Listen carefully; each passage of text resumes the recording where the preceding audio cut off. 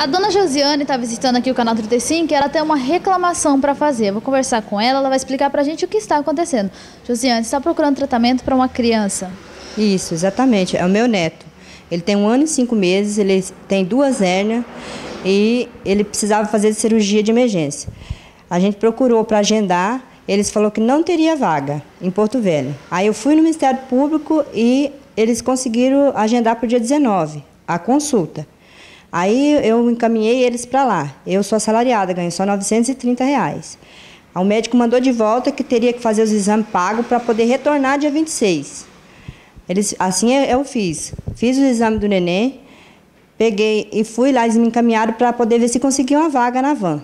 Aí fui lá, a moça disse que não tem como marcar antes de um mês antes. Mas só que a minha situação é de emergência, não é uma coisa que eu é, fiz programado ir lá em cima da hora.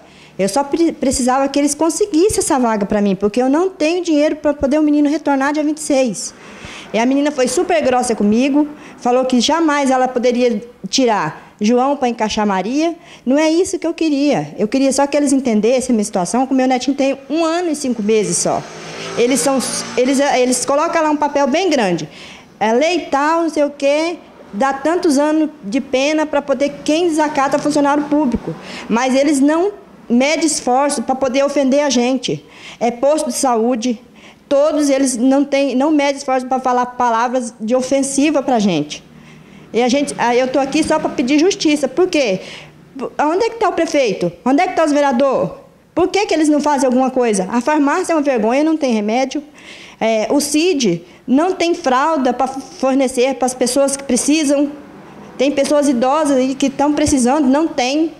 É, meu netinho está tá lá, para quem quiser ver. É, o saquinho dele parece que vai estourar, duas hernias. Ele tem um aninho e cinco meses só. Eu vou perder a cirurgia que o Ministério Público conseguiu para mim por causa que eles não conseguem uma vaga na van para ele. Porque eu não tenho dinheiro. Eu se encontro numa situação difícil, num momento difícil da minha vida. Porque se eu tivesse dinheiro, eu não estaria pedindo ajuda. Enquanto isso, a criança está sofrendo. Está sofrendo. Inclusive, deixei ele em casa chorando, porque a hernia dele está inchada. É toda a vida assim, direto. Se a gente precisa ir lá no hospital da criança, a gente chega lá, a gente não é bem atendido, a gente é maltratado. E é assim que a gente, que a gente, que a gente é atendido. Porque na hora da gente pagar o imposto da gente, é, a gente é cobrado. Na hora de pedir o voto da gente, Todo mundo é alegre, mas na hora que você precisou deles, a gente é maltratado. E isso é a verdade nua e crua. Infelizmente, é uma vergonha. A senhora só precisa dessa, dessa passagem mesmo, né? Dessa transporte. Preciso de ajuda, sim. Preciso, porque eu não tenho como encaminhar meu neto dia 26, que é depois de amanhã. E eu estou sem dinheiro. E, e o pessoal, infelizmente, o pessoal que é para ajudar a gente não quer ajudar.